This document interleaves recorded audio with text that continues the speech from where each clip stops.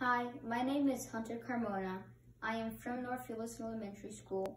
I am in fifth grade and I'm 11 and I'll be performing Happy Farmer.